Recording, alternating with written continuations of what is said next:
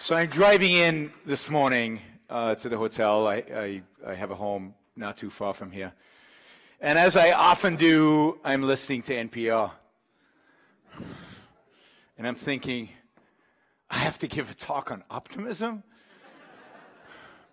Three stories, just from home to here. Three stories. The first. See, the United States under Trump is shooting itself in the foot with tariffs on Canada. So the Canadians are brilliant. They've decided to shoot themselves in the knee by imposing tariffs on the U.S. And like, and people love this. They think this is cool and great. That's story number one. Story number two. There's a homeless crisis in LA. There are massive numbers of homeless.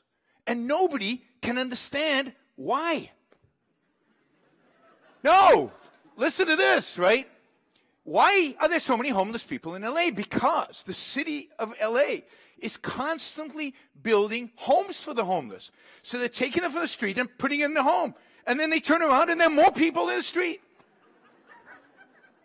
They never heard about this thing. They offer something for free. Everybody's going to come. I mean, people are abandoning their rent to become homeless because they're going to get a free home afterwards. I mean, the insanity of the world we live in. But the third story was the best. It turns out, and this is all true, I, this is what I heard on the radio coming in today. The city of Seattle. Yeah, that's enough, right?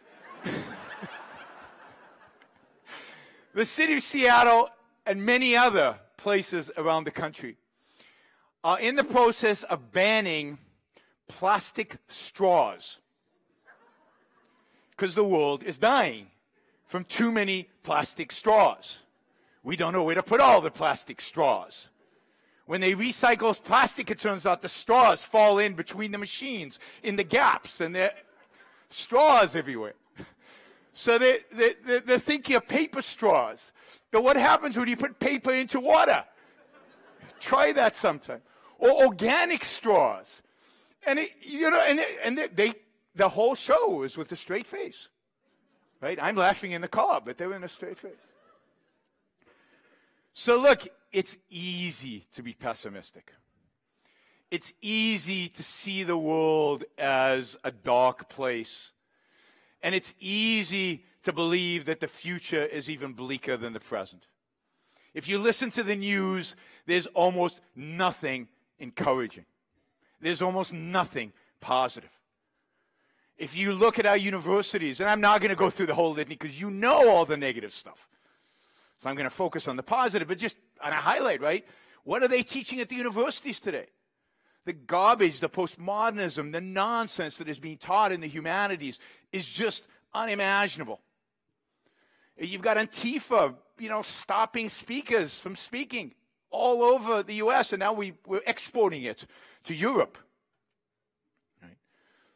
We've got people advocating for the worst, stupidest ideas ever. Young people embracing socialism, believing socialism is the future. We've got professors teaching them that that's a little too moderate. They shouldn't be so idealistic. Nihilism is the real thing of the future. If you look at the field of ideas, it is a disaster. And if you look at the field of politics, it's awful. There's just nobody, and I know some of you are Trump fans, but you're going to have to forgive me.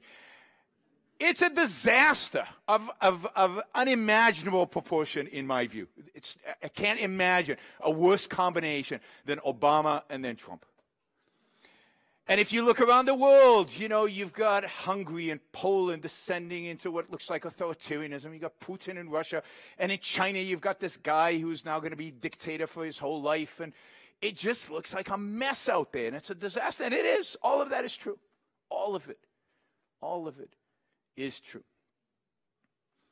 So, how can we be optimistic? And what does it even mean to be optimistic? Well, I take optimism in the context that we're talking about, is to have a positive view of the future. That the future is going to be better.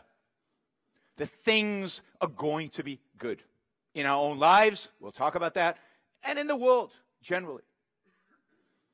So, how can you do that? How can you have a positive attitude given everything that we read, everything that we look, everything that we observe out there? Well, I think we're not looking. I think we're not actually observing. I think we're way too focused on politics and way too focused on what the news chooses to tell us. We're not introspecting, and we know very little history. Very little history. Because, man, this is the best time in human history to be alive. It's.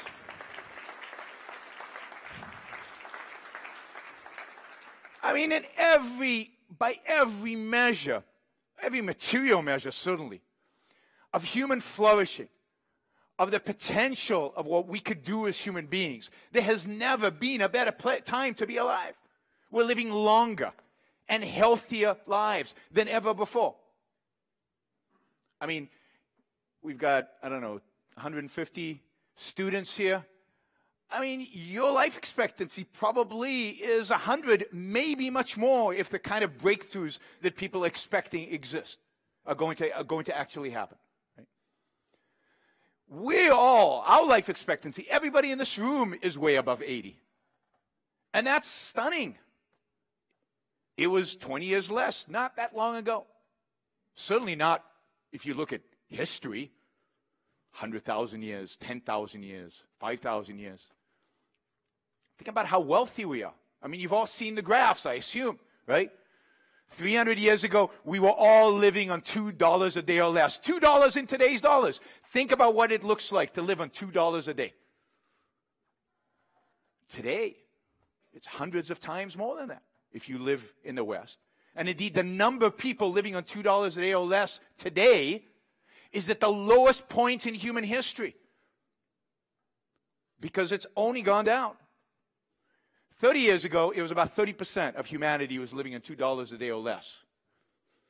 Today, it's under 9%.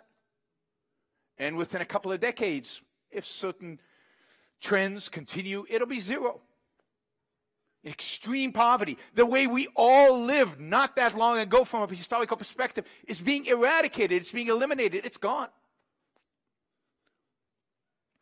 More people today on the planet are being educated, they can read. I mean, that's amazing. We are brought into the world to trade with billions of new minds. Think what that can do for the future. Billions of people now have access to the internet, have access to computer power, have access to information, to knowledge, to history, to science, to math that didn't have it before. Billions. Now think of what we've done just 300 million or 400 million just with the, the, number of geniuses we can produce, but think now on billions and what they can produce and what they can create and what they can make. And we're all interconnected. So we can trade at a far more efficient, far more productive. The transaction costs have gone down to almost zero, particularly in intellectual pursuits, in innovation, in technology. What is possible is truly amazing. And yes, they're not, they don't have the right philosophy. We'll talk about that. And yes, they're not 100% free, neither are we. But they're free enough to think. They're free enough to sit at a computer and learn. Think about how many people today know math and science around the world. I mean, our educational system has gone like that. But the rest of the world, maybe it's not a great educational system, but they have one. There never used to be an educational system in much of the world. Kids didn't get educated in China, right? Certainly not with anything valuable until very recently. Think about India. Think about beginning even in Africa. Think about what the access to mobile technology and what the access to the internet has the potential to do to these continents with billions of people who contributed, who contributed to their own lives nothing because they were just subsistence farmers and contributed to us in terms of trade nothing because they weren't part of a global economy. One of the things that really pisses me off more than anything. And this is way, what, maybe why I have such a visceral response to Trump. Is that globalization is one of the most amazing, stunning, beautiful phenomena that I've ever seen. That humanity has ever experienced the ability to trade across continents, the ability to benefit from the genius of somebody on the other side of the world, or the ability to, tra- to benefit from some person who's willing to just assemble something so I don't have to assemble it, and my children don't have to assemble it. The ability to benefit from the benefits of trade that we all learned from Ayn Rand, the win win relationships. But now on a global scale with billions of people instead of just millions of people is something that has to be celebrated, cheered on, applauded, and instead it's turned into this negative, it's turned into this dark, it's turned into this, uh, you know, somehow it's you against them when it's not. It's trade, it's win win. So globalization has changed the world for the better, universally. People are better off. We're better off. Standard of living of Americans has gone up dramatically because of trade with China. Dramatically, if you look at the numbers. Particularly if you're middle class and lower middle class and poor. Your lifestyle, standard of living has gone up because we trade with the world. But think about the power of this connected world. Think about the power of the minds. Think about the number of geniuses born when you're now accessing 8 billion people rather than just a billion. It's eight times more. And we know the power of genius. We know the power of productive genius and what it can do to our own lives. How can we not be positive about the future when we see so many people engaged in it? I mean, even at this OCON, I don't know, uh, something like 30% of all attendees now are foreigners. Never used to be. We've got a big contingency from Argentina. We've got a big contingency, like last time, I think, for Poland, from vast arrays. And then I see the audience to my show is global. The phenomenon is not global. And that couldn't happen without this amazing technology. And of course, think about technology, right? My famous iPhone. I'm still, still working on getting the, the X.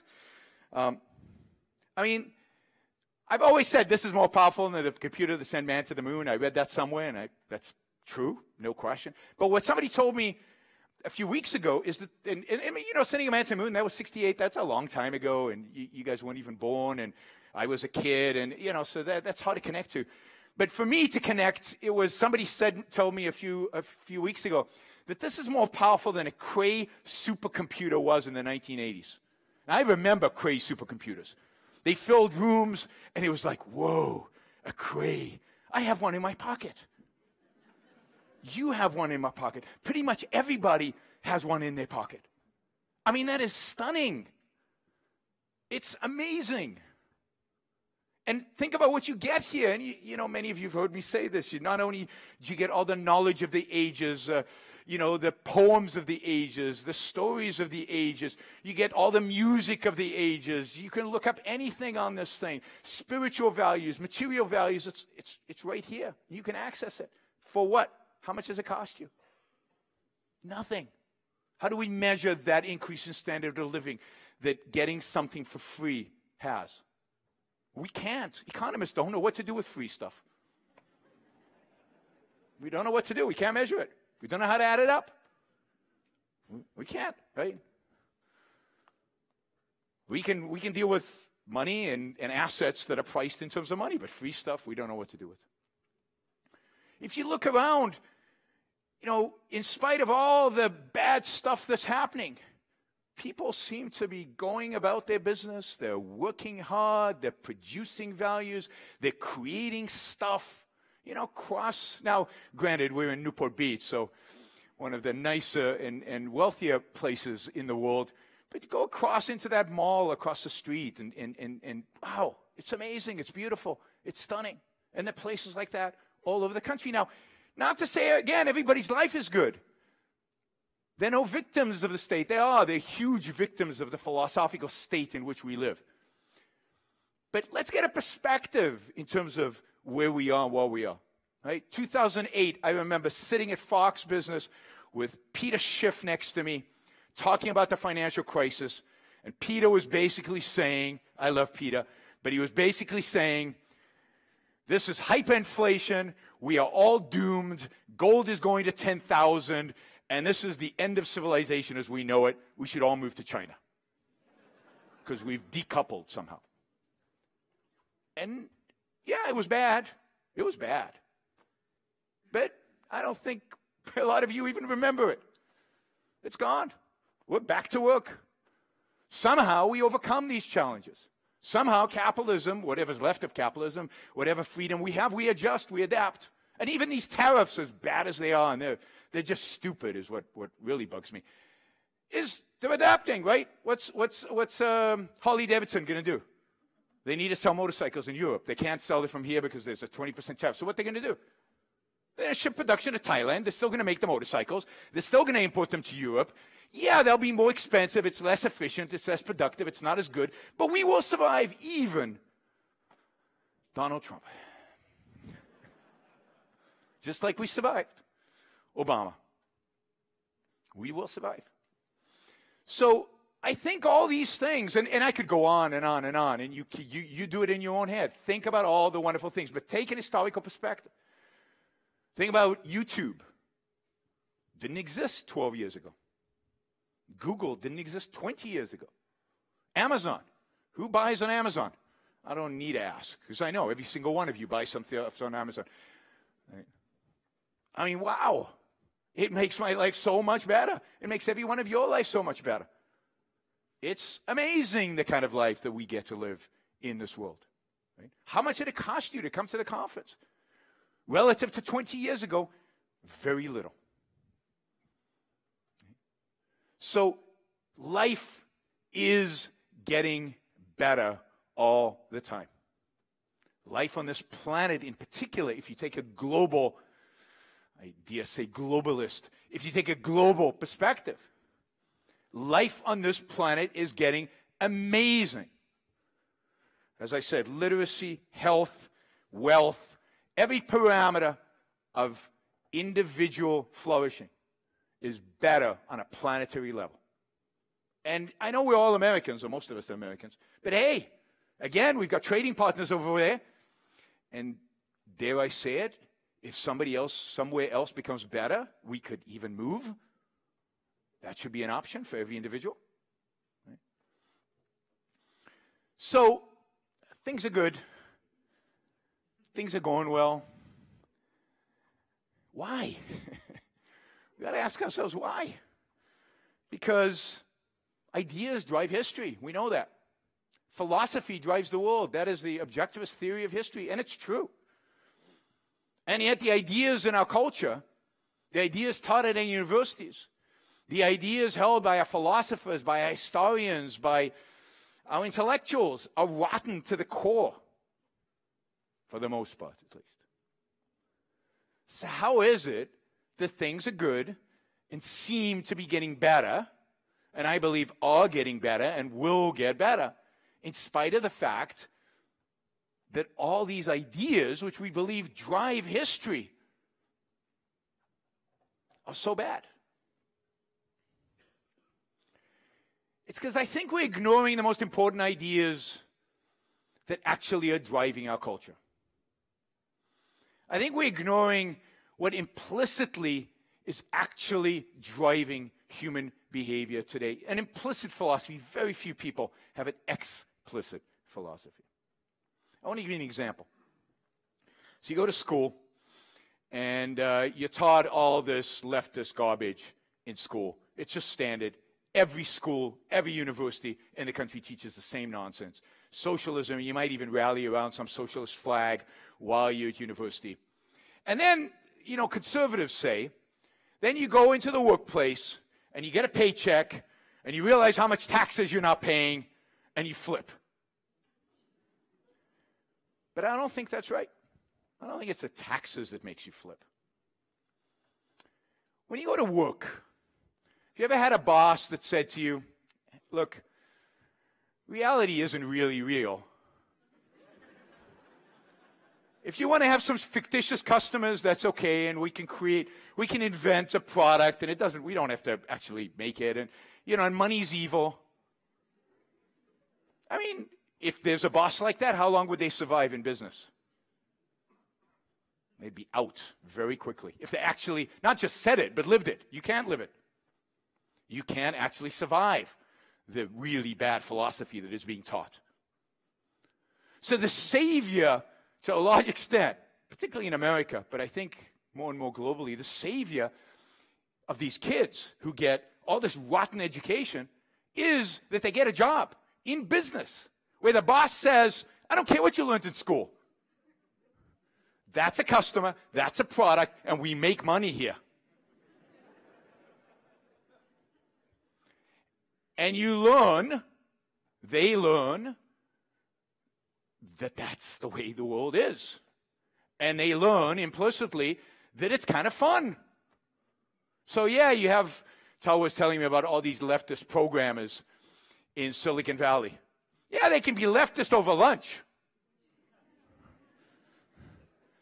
But you can't program if you're a, if you're a postmodernist. It's no, it doesn't mean anything. When it comes to programming, you better be reality focused. When it comes to programming, you better use your reason. And when it comes to your paycheck, you're suddenly an individualist. The implicit philosophy, and I think this is a powerful, powerful force. The implicit philosophy embedded in the very nature of business is a powerful force on young people coming into that world. BS, the co- complete garbage is out. Now, it doesn't save them as individuals because they will still feel guilty for making the money. They will still have the altruism bugging them and hounding them and preventing them from truly benefiting, of truly being happy and completely embracing the world in which they live and completely understanding what it is that they're trying to do. That will always be a handicap. They can't do it. But on the other hand, they're not going to be as wacky as their professors would like them to be. They're going to grow up. They're going to produce. They're going to make stuff and build stuff. And, you know, the rest of us will benefit from that. So it's not ideal. And I'm not trying to portray the world that we live in as ideal. I think the biggest loss that we have in the world we live in today, there are two really. One is what the world could be. Oh my God. I don't know how many of you have the imagination to imagine what a laissez-faire capitalist world, just from a material perspective, would be like. I mean, flying cars is nothing, right? It would be astounding the amount of wealth we could actually accumulate, what the technology could actually look like, right? That's one. And the second, worse, I think, is what it does to the soul of individuals. The fact that they, yes, they produce, they create, they build, they make, they do all this stuff, but they don't fully enjoy it. They don't fully make it part of them. It doesn't become a source for their happiness. And that's tragic. That's tragic. So I think we underestimate the role of Enlightenment ideas in the world in which we live. The Enlightenment which I think of in a simplistic, simple way, not simplistic, but simple way, as really two ideas that come out of the Enlightenment. The idea of the individualism, the idea of the sanctity of the individual. Your life is yours. it Doesn't belong to the tribe, the king, anybody. It's yours. And the idea of the efficacy of reason. It's really reason first, individualism next, but the efficacy of reason. And that transmitted primarily through the idea of science and the scientific method. But those two ideas are out there in the culture. Not explicit, not integrated, but they're there. People still love science and respect science, so much so that the environmentalists who are anti science to the core have to use scientists in order to try to you know convince us convince the public that they are somehow right. They can't avoid it. They can't just talk philosophy. They can't just talk about how evil human beings are and how nasty they are. They have to bring science into the picture. We all respect science. We think it's important. And in that sense, we all respect reason. At least, again, to the extent that we do. And think about how many, again, think about this global world. Think about how many people today study in school math and science. Put aside all the other stuff, which is maybe a lot of garbage there, but just math and science. How many people 300 years ago studied math and science? Five? Like on the whole planet? you know, 500, 5,000. Now you've got billions of people who went to school and gained a certain respect, a certain way of thinking about the world through math and science, which allows for the kind of technological revolution that you experience, the kind of technological advancement that is going on in the world today. You know, billions of people now know these subjects. These are subjects that come out of the Enlightenment. There is no math and science for everybody before that. It, that's something only the Platonic philosopher kings did. But in the Enlightenment, brought it down to everybody. And now the whole world has embraced this Enlightenment value without even knowing it's an Enlightenment value, without knowing where it came from. So there is a respect for reason. People still, you know, when you talk to them, they're looking for evidence. What's the facts? Our legal system still is oriented towards facts for the most part, right? And that again is spreading across the world. We're seeing more and more and more orientation towards reality, away from kind of mysticism, away from the witch doctors, and more about evidence. And you're seeing that more so maybe in other countries than in the United States, but you're seeing it as a global phenomenon. And it's wow. And then the second part of this is individualism, and I find this interesting. So I travel all over the world, as you know, and I speak to a lot of audiences around the world. And I can go anywhere. A town in China, uh, you know, in, in Eastern Europe, and my guess is this would be true in Africa, although I have not tried it. You ask an audience in any one of these places, who does your life belong to? And everybody says, me. I mean, they say it as if it's obvious. What do you mean? Who does my life belong to? It belongs to me. Now, if you'd asked that question 35 years ago in China, that would have not been the response. I suddenly 20 years ago in Eastern Europe, that would have not been the response. Suddenly, again, without knowing it, without holding the idea of individualism and with all its implications of what it means philosophically and what it means for the world, there are all these people that, at least at some level, see their value as an individual. My life does not belong to the party. My life does not belong to the state. My life does not belong to the proletarian or to the race or to any of these things. My life belongs to me. And again, all these people are waking up, billions of people all over the world, to this idea that their life is theirs to live. And that's, wow, that is, that is powerful. And Americans still believe their life is theirs to live. And yes, they're not consistent. They're horribly inconsistent about it. But on a day to day basis, the way they live their life, they're using reason and rationality in their work, and they care about what happens to them and their family and their kids, and that's the center of focus. And the altruism, which is, ugh, altru- there's nothing worse than the, the way altruism affects the human soul. The altruism prevents them from being proud of that, prevents them from benefiting from that.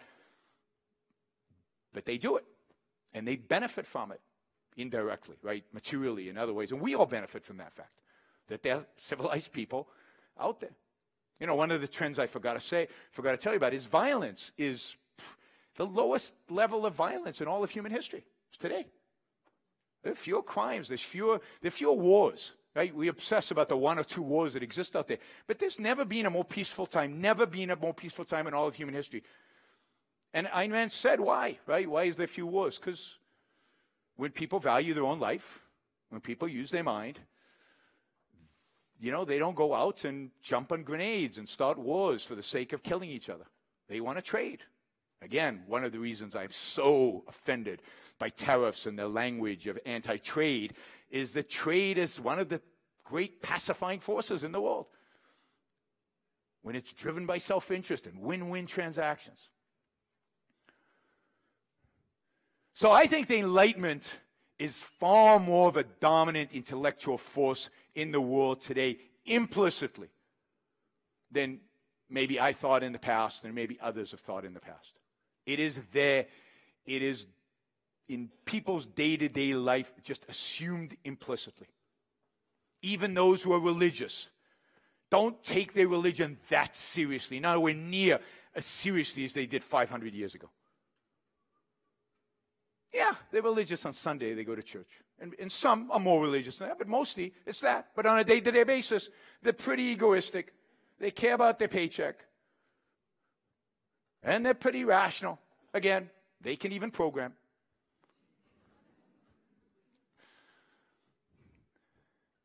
And I think to a large extent, our job, our job is to make those ideas explicit. Our job, Onkar Ghate has said many times, our job is to save the Enlightenment and to finish, complete its mission. And that's what Ayn Rand does. She gives us the tool to save the Enlightenment. She completes the venture that Locke and, uh, and, and Voltaire and many others in the French and Scottish Enlightenment, they set us on a path. And Ayn Rand completes that path. She provides us with the philosophical foundations for individualism and for efficacy of reason. And reason as man's basic means of survival. Ayn Rand completes that. And our job is to bring that to the forefront, to make this implicit philosophy explicit in people's minds. Now, you know, I've drawn kind of a global picture. And again, I don't want to be Pollyannish. There are plenty of people suffering. There are plenty of people whose dreams are shattered because of this regulation or that regulation, or, you know, put aside accidents, but of, of, of real problems, real things that are happening out there. But I think at the end of the day, this question of optimism, which I take as a positive view of the future, a positive view of what's possible in the future, I think boils down to what you and I and each one of us does with our own lives and how we view our own future. Can my life be better in the future? Can I live a better life in the future? And at the end of the day, it is that that you have control over. One of the reasons I tell people stop listening to so much news. Please stop. Is because you have no control over it anyway. I mean, I'm out there speaking constantly about this stuff, and I have no control over it. So, yes, you can tweet and you can Facebook and you can do all this stuff, but you don't have any control over it. You're not going to change it in dramatic ways soon. And to obsess about it is just silly. And the fears and the threats that everybody is trying to convince you that exists are not real. Muslims are not going to take over the world.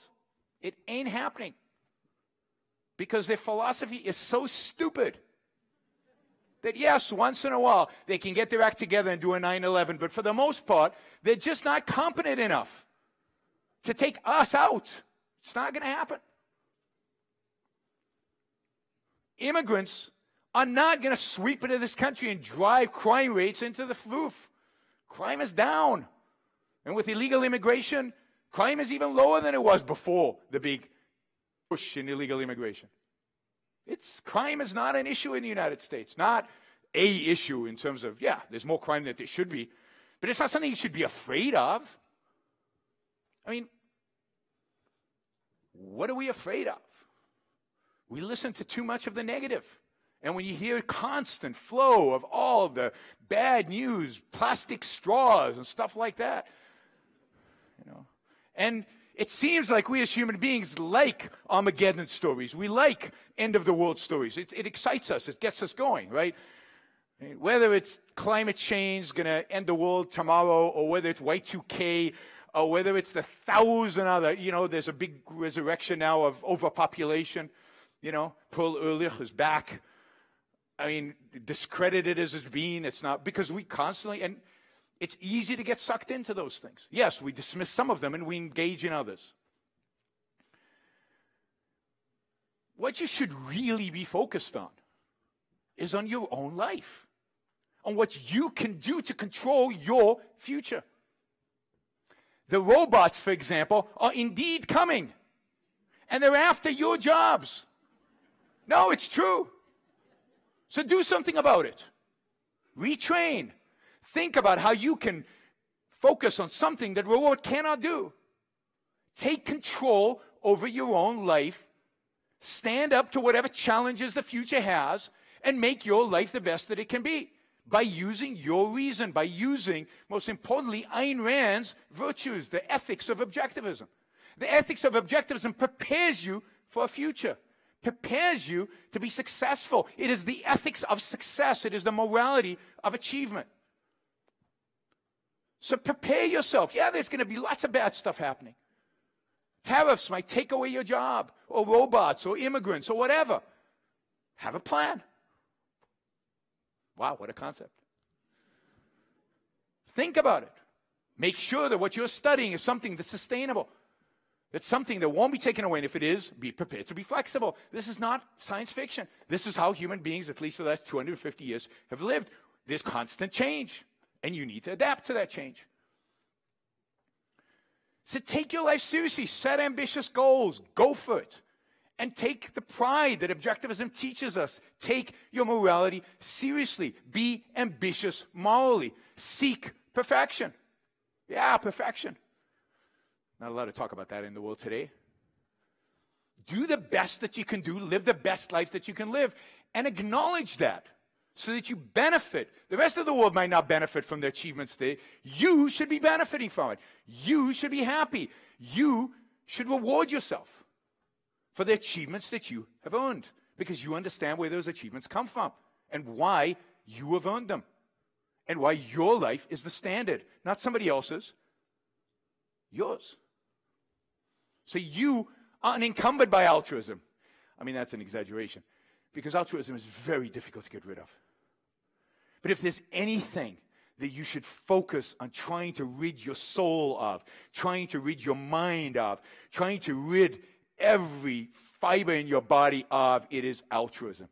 Your life does not belong to anybody else but you. Your happiness is your moral ideal. Sacrifice is self sacrifice, placing the well being of others above yourself, is evil. It's wrong. Get rid of it. Live for you. I mean, fully understand what that means. Don't be a jerk, right? And be happy as a consequence. And life can get rough. And when life gets rough, and, and again, the news and everything, think about heroes. You know, I think Andy's going to be talking about heroes later in the week. But think about heroes and how inspiring they can be. And think big in terms of hero. I mean, you could start with, with Howard Roark and John Galt, right? And the challenges in the fountainhead that Roark faces. And think about what that would mean if he was down on the world and down on life and down on everything, right? What would the quarry look like? Would he have turned down the building? you know, the, the, the, bank building. What, what would we have done? I mean, the book would be a completely different book. It would be, it would be not Ayn Rand. Because Ayn Rand is inherently about you have control over your future and you could make it great and you should be optimistic about that. You should be confident in your future. Or even John Galt, who you'd think is a pessimist, right? World's gone to hell. No, he's got a solution. He's going to start a Galt's Gulch and he's going to change the world. He doesn't just sit back and complain. He acts. He's got a plan. He does something to make his life and the people he loves life better. That should inspire. So literary heroes can be great inspirations, but more than that. It's important for us to hold an historical context and look for, for, for heroes in the real world. You know, when you see Antifa shut down a talk, think about Galileo and Newton having to confront a religious authority, not a bunch of kids who don't have a clue with their lives, just thugs who are, I mean, religious authority that could have them killed. Religious authority that didn't want to have anything to do with them. And yet, they persevered and brought us the scientific revolution. Or think of Voltaire and Locke, who brought us the ideas of the Enlightenment but had to escape because they were afraid for their lives because of their ideas. So a bunch of, you know, bunch of people are writing outside Berkeley. I mean, it's bad, but again, the perspective here wasn't a bunch of kids. Here was the authorities. Here it was the king. It was the people in power after you. We're not there yet in America. We can still speak. We can still hold OCON. So let's put it all in perspective, right? Or think about J.D. Rockefeller bringing light to the world and cheap energy to the world. A kid who had nothing and started from nothing and built something amazing. and changed the world in profound ways and had to fight everybody on the way his competitors, but more importantly, the muckrakers and the politicians and everybody who wanted to destroy his business. And yet he succeeded and he persevered. And you might say, well, that was in the 19th century. Things were free then. Then, okay, think about Steve Jobs, right? Who in this century, or last century actually, you know, got fired from the company he started that revolutionized computing. Fired from his own company. And then started some strange computer company. I don't know if you ever saw Next Computer. Pretty cool, but strange. And Pixar, just a little thing. Made some of the best movies of the last 30 years. And then came back to Apple. I mean, and change the world again. Change the world again. I mean, he, he believed in himself. He believed in his power. He believed in the power of his vision. And he made it a reality. Well, think about Jeff Bezos, right? now, I remember, I remember the late 1990s. I don't know how many of you remember. There was this company selling books online. I was shorting the stock all day long. I mean, give me a break. Books online? You're going to make money selling books online? And look where we are today. I mean, he's changed our lives. He's the richest man in the world. And think about what he wants to do with his money. I mean, this is so inspiring to me. He's not going to give it away like Steve like Bill Gates. You know what he's going to do with his money? He's going to go to Mars. I mean, you laugh, but he's serious. He is serious. And think about that as a positive. Who 20 years ago among us would think that the privatization of space was something real that could happen? Yeah, it was a dream. It was something maybe one day when we took over the world would happen, but it's happening. Not completely, not fully. But here's Jeff Bezos putting his own capital, competing with others to see who gets to Mars first. I mean, that's cool. That is just cool. So, wow. And then just a few years ago, some kid, I think at one of these conferences, said, I want to build a supersonic jet and make it commercial. Right? And it was an Ocon. Right? It's like, yeah, right. You're going to build a supersonic jet. I mean, I'm sure, I don't remember what I thought, but I'm sure that's what I thought.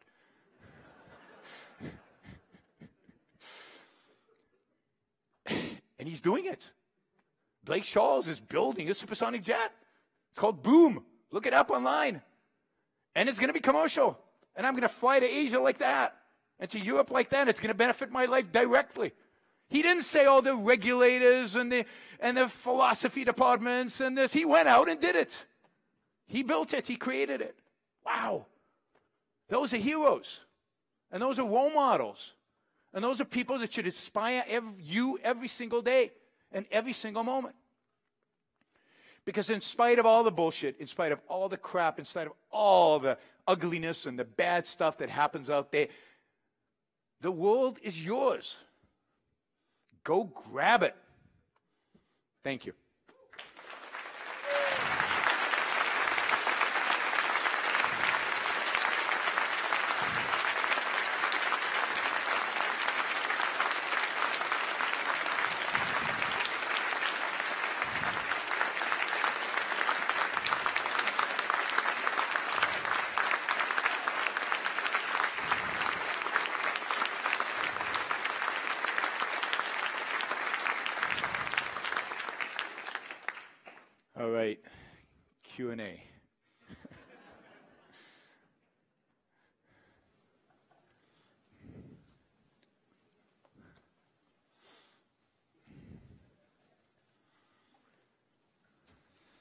Uh, Yaron, what you said about math reminds me of uh, what I said about I, what? Math. Math. Yeah.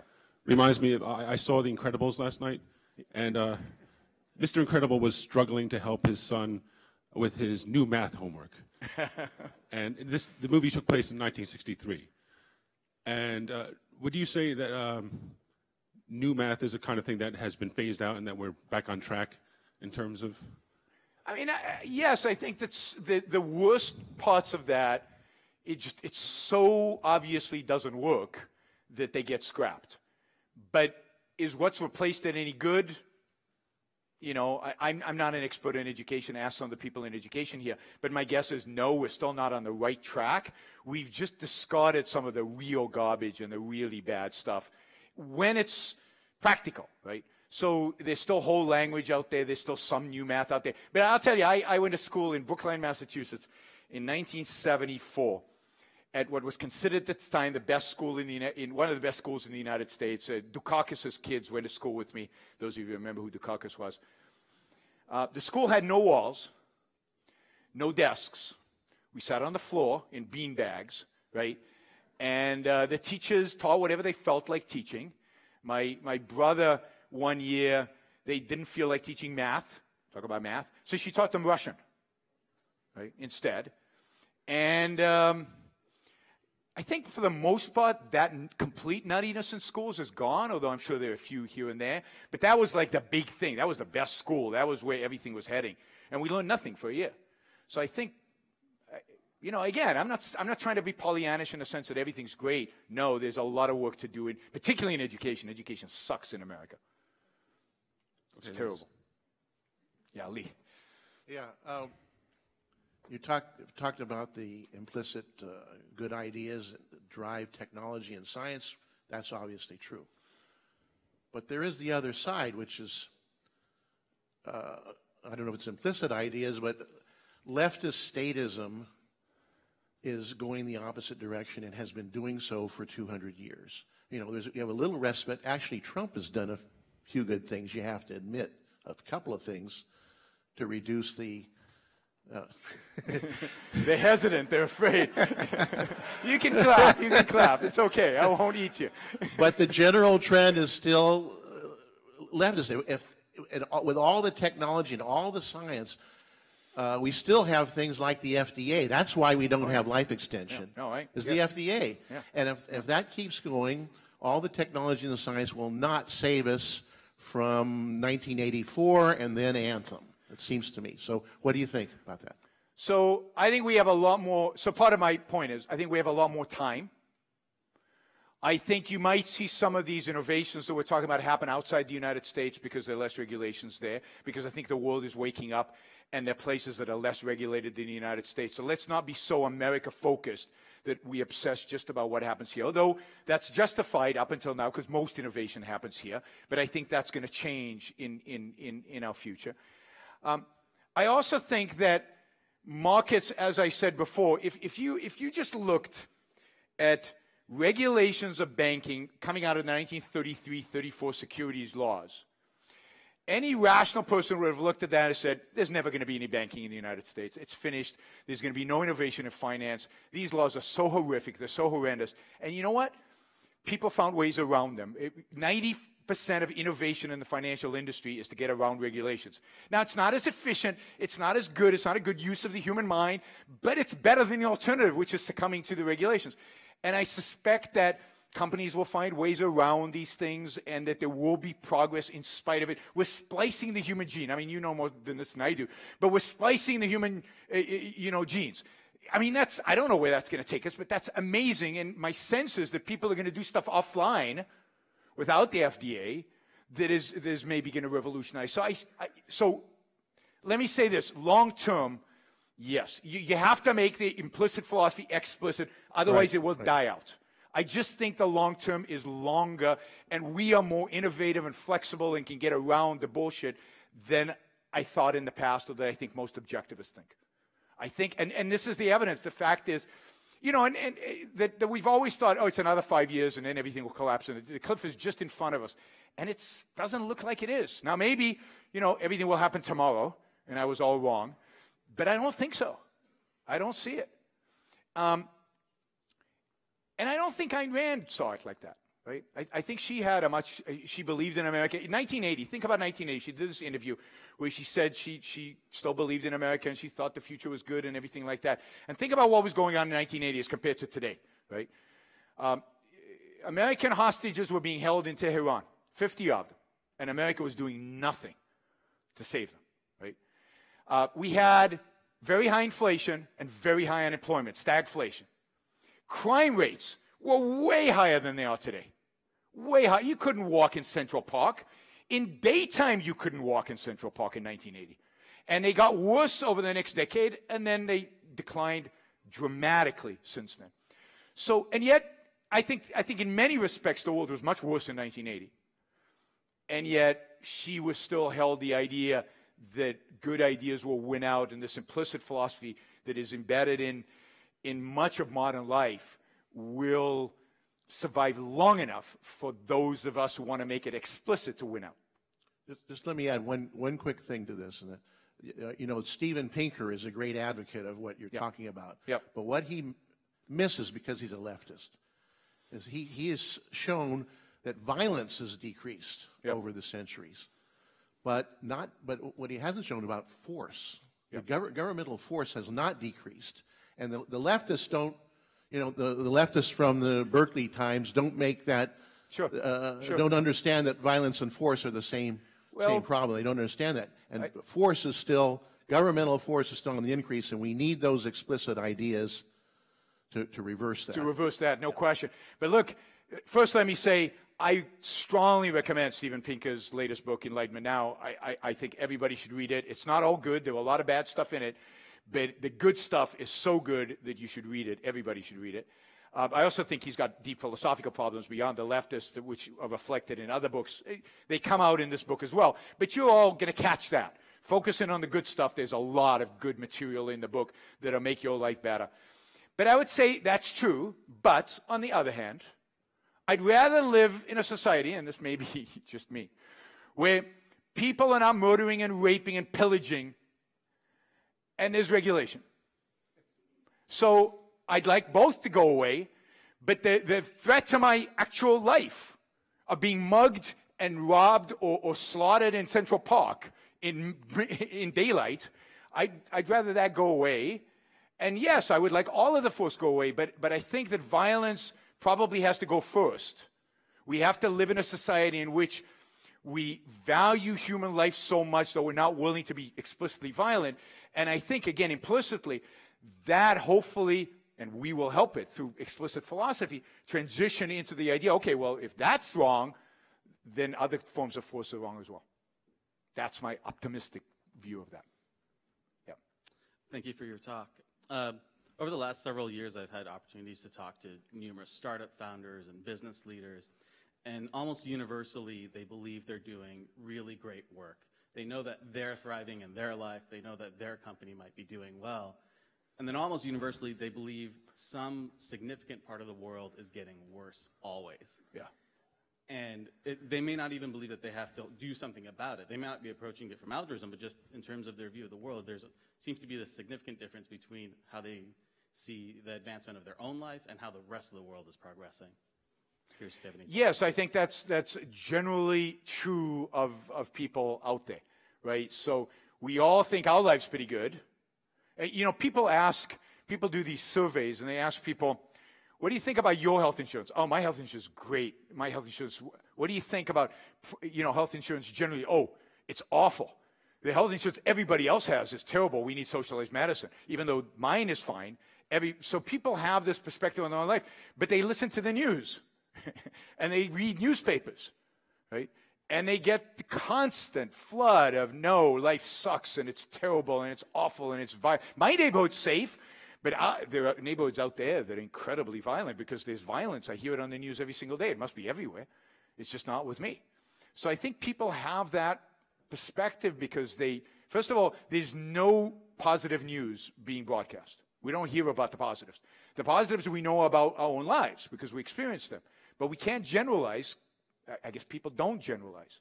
They don't think. Um, so, yes, there's generally an optimism about your own life and a pessimism about the world that pervades, particularly the startup community. Is there anything about that that can be done to?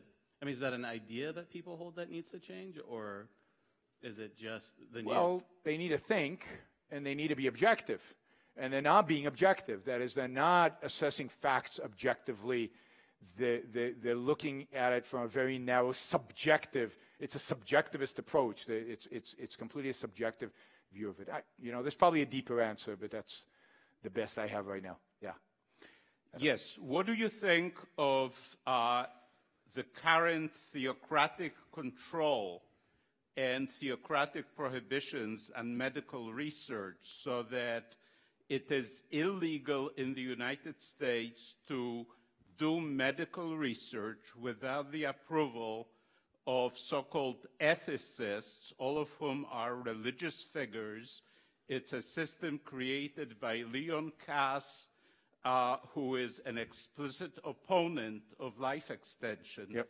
And now we have something that would have given the cardinals who imprisoned Galileo a wet dream about power because now the theocrats have total power over medical research in the United States and in most of the world.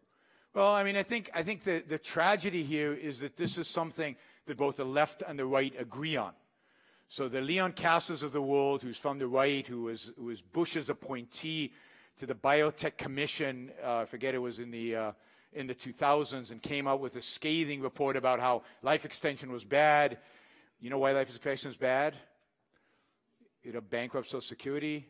No, but even worse than Social Security, well, why is life extension bad? It's going to cause massive numbers of divorce. I mean, you can live with a woman for 50 years. But 100? Give me a break. I'd live with you 100. Um,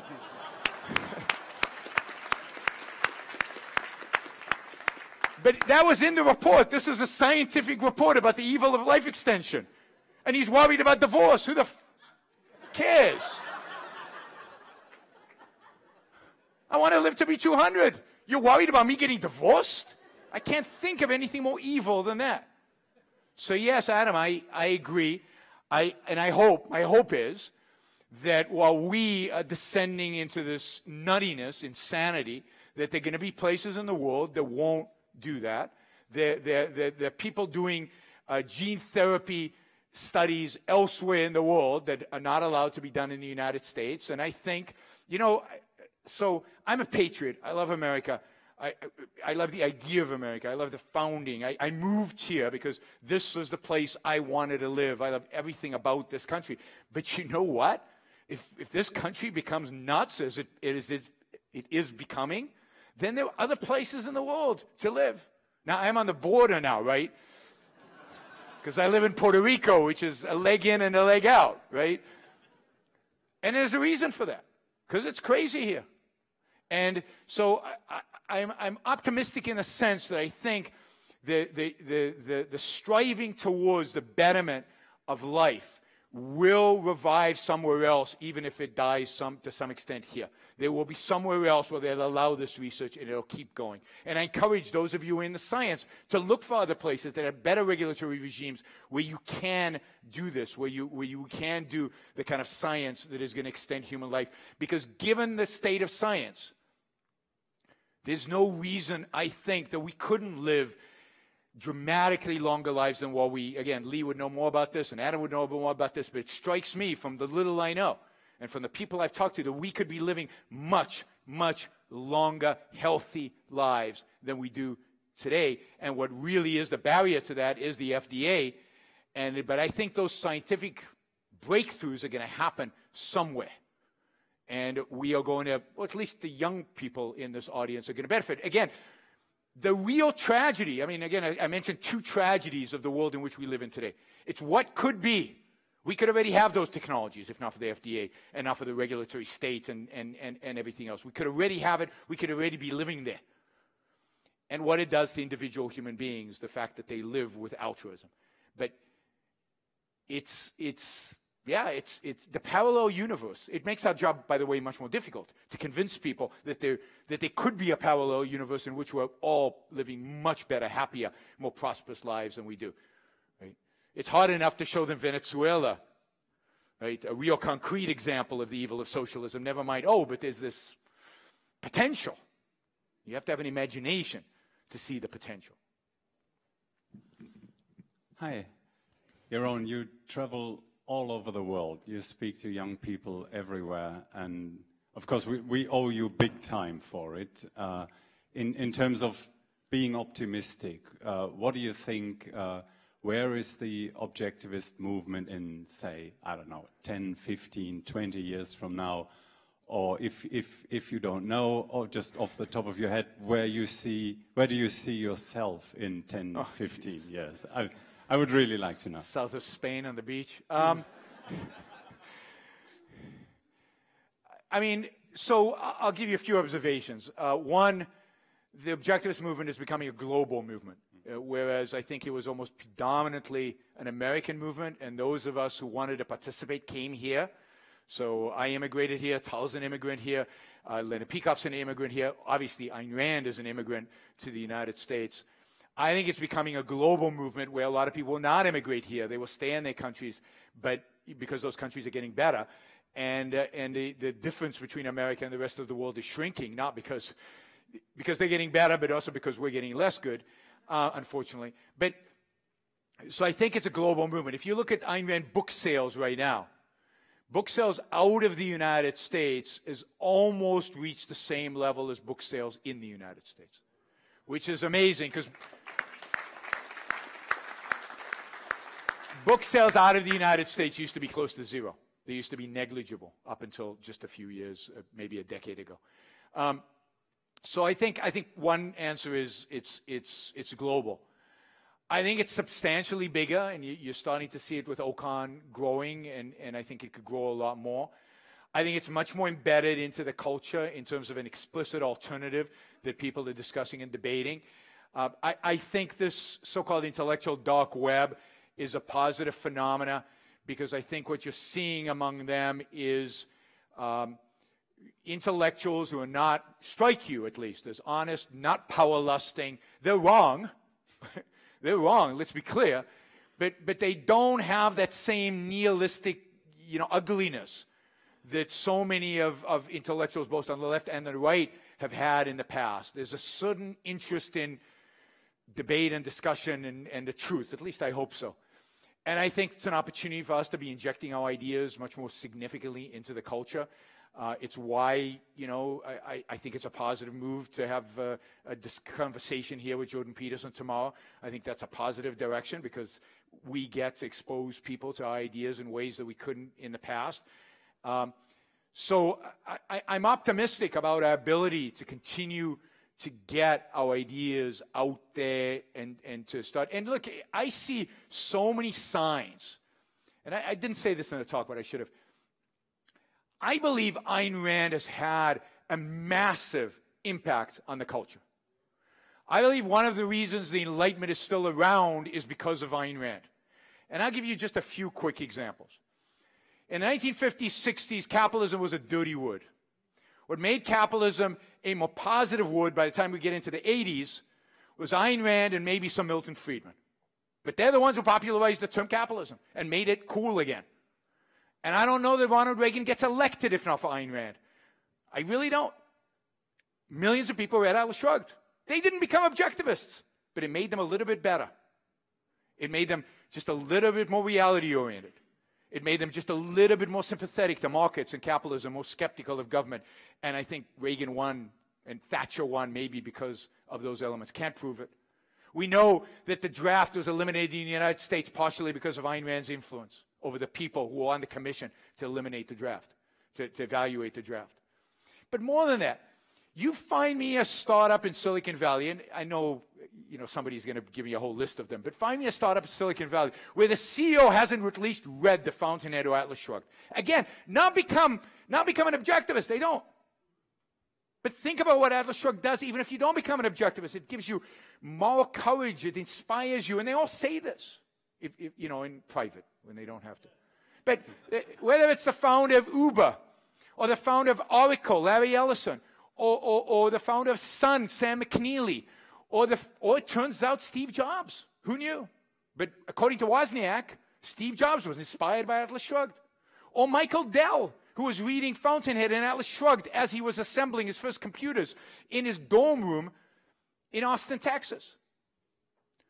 Or, you know, my guess is almost all of them. And then go to the Fortune 500 companies. Certainly 10 years ago, maybe still today, As they become more and more crony, I think this number comes down. But how many of them read Atlas Shrugged? Well, a large number. A large number of successful CEOs read it, and it inspired them. And they think it's a great book. They didn't become objectivists.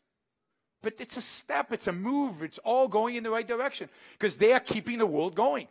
They're inspiring their companies. They are bringing that reality orientation to their businesses, even if they don't know that that comes from this philosophy. Ayn Rand reinforced all that. So she's already in the culture everywhere, everywhere. And, you know, I was just talking to Lars yesterday, who's going to be talking later today, and he said, you know, all these, all, he, he, he bought, are you going to tell the story? Yeah, he, he bought 20,000 copies of Atlas Shrugged years ago in 2002 or something like that. Uh, and he, he, actually wrote his own little intro to it, and it was great. And he, he took these and he put the, the, Saxo Bank logo on every one of these, uh, and he distributed them to the leading business people and some politicians and intellectuals in Europe. And to this day, he gets notes from people who, who read the book and how wonderful and how it changed their life and how it inspired them and made them a little bit better. Not turned them into objectivists. It's not going to happen. The number of people who become objectivists is always going to be small. It's the fact that we change the way people think about the world in subtle, implicit ways, and they are better, and the people around them are better, and their companies are better, and the world is better. So Rand has already had a profound impact on businessmen in Europe because of the work Lars has done, on businessmen and students in the U.S. because of what John Allison has done, of what the Institute has done, of what all of you do when you go out there into the world and talk to people and recommend that they read Atlas Shrugged and, and, and, and just live a good life so people see you living a good life and want to emulate you. So I see that just continuing and, and, and it compounds, you know, compound interest. So just like Moore's law with, uh, where it becomes exponential, right? and, and computing power just goes like this, which is part of that optimism story. Uh, well, maybe there's a Moore's law to objectivism, right? We're still, we're still here. We're still going like this, right? We still can't see the little differences. But there's an inflection point at some point where it goes in exponential. Now, is that going to happen in 10, 15 years? Probably not. But it's moving in the right direction. It's growing in influence. More people are exposed. More of you are living out there and talking about these ideas. And so more, better.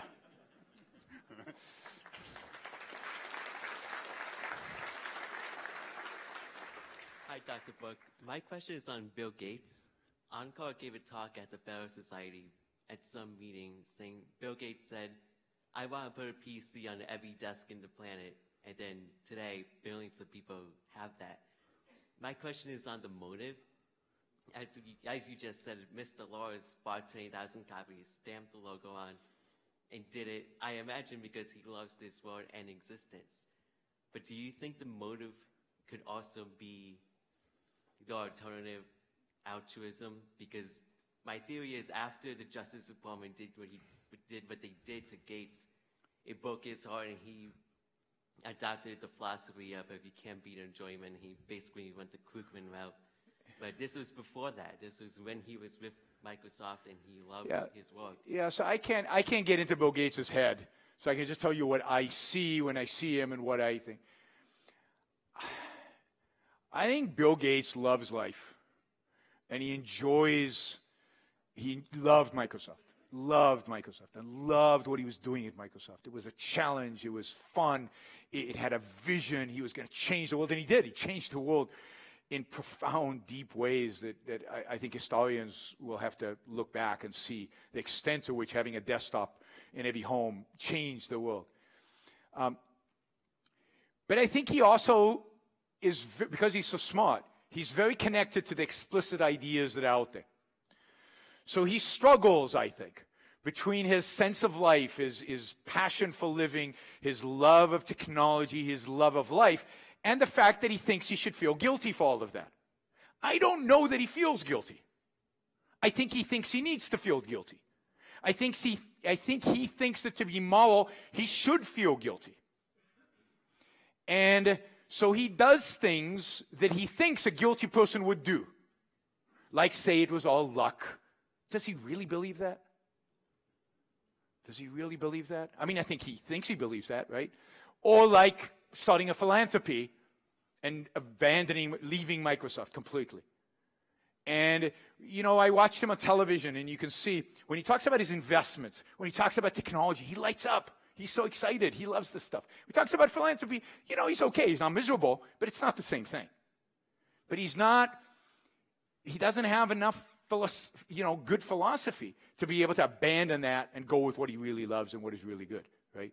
So I think, and, and you can see he's very intellectual. He reads a lot, and he reads all this stuff. So he's read John Rawls, and he's read all the modern philosophy, and he, he, he, he's accepted it. He's absorbed it. It, it. it doesn't go on deep, but at some level, he's accepted it, and he's accepted that he should feel guilty at some point.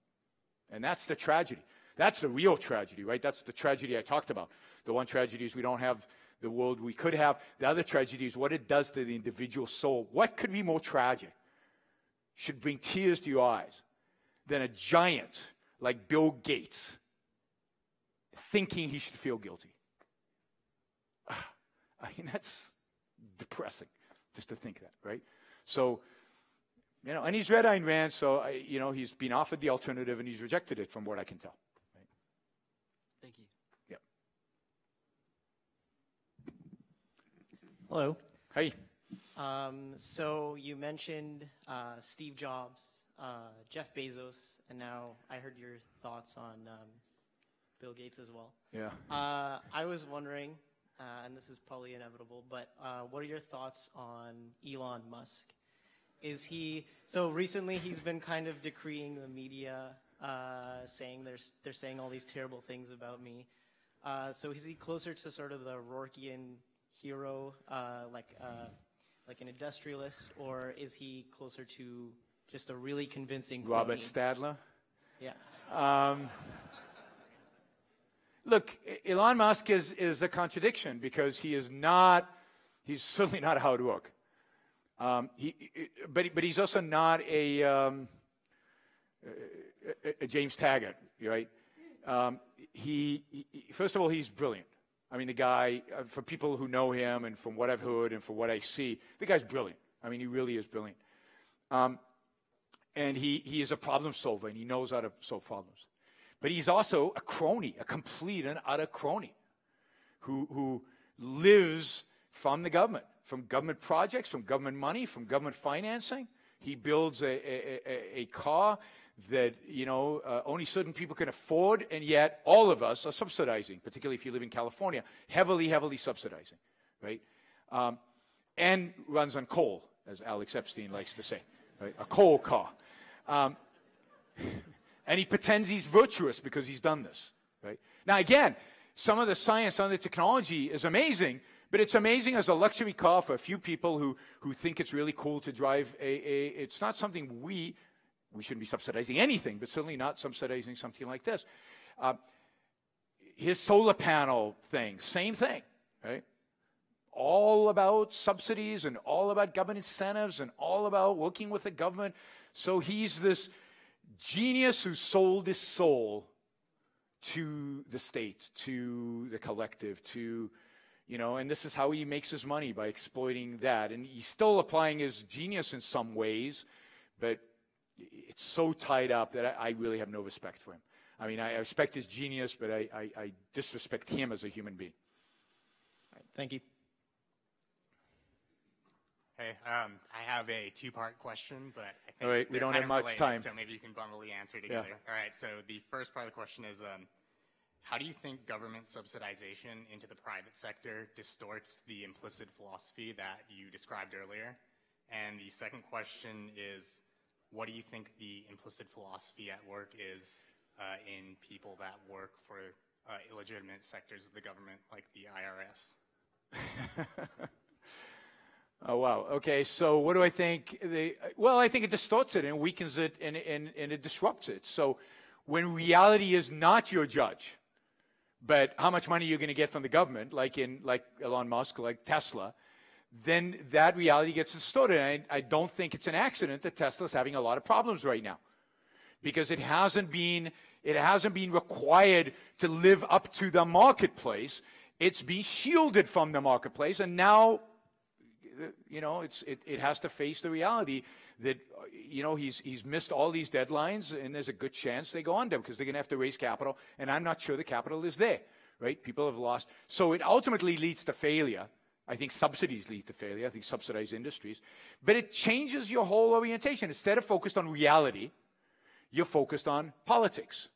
You're focused on schmoozing. You're focused on lobbying. This is, you know. So one of the phenomena that you see is that the type of CEO who rises to the top at large publicly traded companies today are not CEOs who are driven by a business mentality. Right? I think business mentality, I think Jack Welch at GE in the 1980s. And then when I think political mentality, I think of Jeff Immelt at GE since then. Jeff Immelt is a politician, a schmoozer, a get along, subsidy seeking bad guy. And he destroyed GE. He destroyed GE. The G company's gone. G, uh, you know, uh, oh, I forget his name now. Um, the guy who uh, GE that I mentioned a minute ago. Welch, I mean, built an amazing company, and Immelt destroyed it. That's what subsidies do. That's what, and the problem is that the subsidies also caused the wrong people to become CEO. So when the board had to decide, when replacing Jack Welch, replacing with another Jack Welch, a, a, productive genius, somebody focused on making money, versus a politician, they chose the politician because they knew the world was changing. So the whole orientation of business changes and it diminishes that implicit philosophy that's built into business. This is one of this is why I think if you if you think about uh, role models, if you think about heroes, if you think about great businessmen today, they're primarily in tech because it's not regulated or not as regulated. Still regulated, it's not as regulated, right? So, so there they can still rise up on that basis. Okay, last question. Make it quick. Otherwise, Anu is going to come out. So, good morning and thank you. I'm really, really happy that you're more optimistic. I think about 10 years ago, you said that you there was a whole idea about going to Estonia or forming something and then New Hampshire and all of that. What there was a, there's, a, there's a, a friend of mine who's actually a contributor to the Institute, very, very wealthy individual, um, who about 10 years ago, and I think I told you this story, yeah. um, was said, you know, let's buy Estonia. it was like, there's one and a half million people there. How much could it cost? like, and when I told him I'm moving to Puerto Rico, he said, huh. Um, those Puerto Rican bonds, they're really cheap. What if I bought them all up and forced them to, to put you as governor? Oh. I said, cool, let's do it, right? He's a character, a great guy, and, and but yes, that's how that's how he thinks. So I would have never thought of buying Estonia. Not in my wealth uh, scope. But yeah. you are more optimistic. What changed? Like, what did you, what facts did you learn? Did you change your mental way of integrating it? What changed about it? I mean, maybe I'm more optimistic. I, I don't know if I'm more optimistic than I was 10 years ago. Uh, you, you think I am, all right. Um, yeah, if you listen to my podcast, I don't come across as that optimistic, so I don't know. I really think it's it's um, it's expecting doom and gloom and it not happening. Um, expecting the financial crisis to be much worse than it was. Seeing the phenomenal advancements that technology has made over the last 10, 20 years and, and seemingly unstoppable. Reading a little bit about kind of Moore's Law and the potential for Moore's Law in other areas in technology. Uh, I think uh, Gamboa gave me a, a, a, a, book called Abundance at some point, which was inspiring about what, what is possible to. Now I think it's a little too much, but but the trend and, and what's going on, and just living another ten years and hey, life's good, and um, and starting to think about why is it right? It, it shouldn't be. Right? If, if, if, eh, at least my superficial rationalistic view, and, and granted this is a wrong view, of yeah, it shouldn't. You know, look at all the bad stuff and why is there good stuff? Why can how does the good stuff live with the bad stuff? So I think it's a combination of those things. Maybe because I'm not CEO of the Ayn Rand Institute anymore. Uh, Tal starts out optimistic. Um, I don't know. It's just it's just looking at the world, thinking about it more, engaging with it more, and, and seeing what's out there. And I do think seeing what we've done over the last 20 years and where objectivism has gone in 20 years and real, starting to realize the ways in which Ayn Rand has affected the world, I think inspires me. And maybe, and part, you know what part of it is? And I've said this before. It's, it's going global. It's, it's going to other countries and seeing. You know, okay, I'll end with this, right? In 2004, uh, my wife and I went to China. And, uh, you know, I, I had the typical objectivist view of China. It's a bubble. There's nothing there because they're too authoritarian. There can't be any real progress. It's all pretend. It's all fictitious. And I remember I, was going to go, we were, we were going to Thailand, and a friend of mine said, You should go to Shanghai. I said, Who has time for Shanghai? I've got to be at this other place. I'm giving a lecture in Dongguan, and I, I don't want to go to Shanghai. He said, No, no, no. You got to go to Shanghai. I said, Okay, go to Shanghai. So I went for literally for 24 hours. I flew in and flew out, right? And we're driving in to Shanghai, and I got goosebumps. I get goosebumps now thinking about it. I mean, it was unbelievable what I saw. And I don't know how many of you have been to Shanghai, but it's, it's it, and it's, it's even more so today than it was in 2004. The skyscrapers, the lights, the billboards. The first thought that went through my mind is there's not a single communist here. You can't have communism and billboards the size of Times Square. Times Square is small as compared to what they have there, right? And suddenly, and then, and then from there we went to Dongguan, and I thought Dongguan, what's Dongguan? It's nothing, right? Dongguan was a city of 8 million people that 20 years did, before did not exist. It was a city in which 50% of all the shoes were manufactured in the world. It's a city that had a huge tech sector. It's a city in which not a single human being sat down because they were so busy. They, the people were busy moving skyscrapers, cranes. Eh, They took my wife on a tour of the largest mall, shopping mall in the world. Uh, with one side, there was the Venetian misspelled, so they wouldn't have to pay royalties to the Venetian. I mean, but literally it looked exactly like the Venetian from Las Vegas. I mean, this grandeur, and I'm going, I have this strange feeling that history, history happened here, and we missed it. Something happened here that was huge. And I was thinking, in 100 years, nobody will care if George Bush or Kerry won the election. But what happened in China in the 1990s and 2000s is profound. It freed up, not completely, they're far from free, but it freed up 1.4 billion people. It gave productive energy and productive sanction to hundreds of millions of Chinese, and they did something with it. They created something with it. And it wasn't because objectivism appeared in China.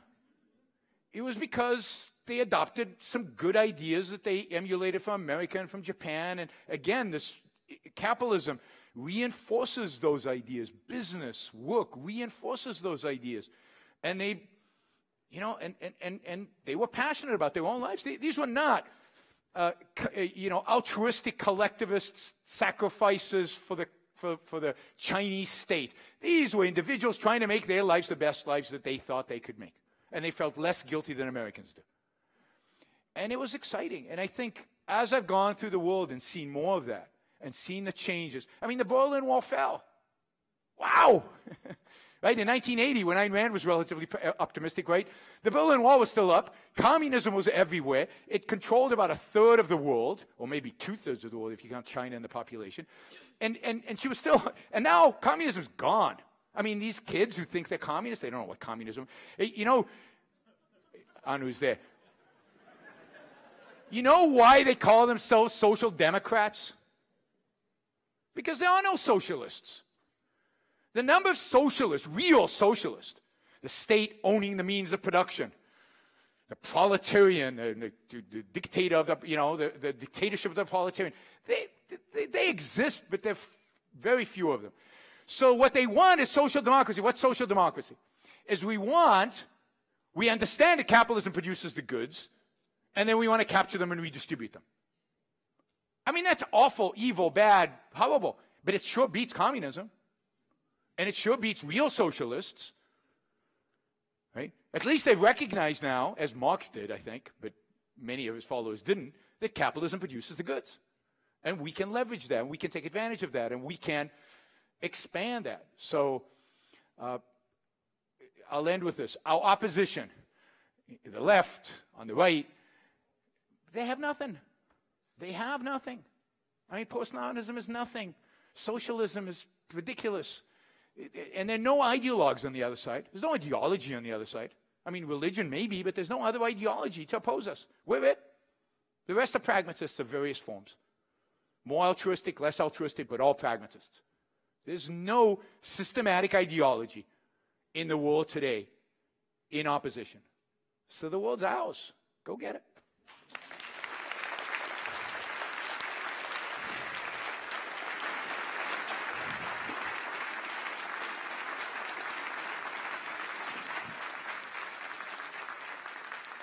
Sorry to break this off, but if you are going to the lunch now, I gave you a wrong room earlier. It's going to be in Newport Coast next door.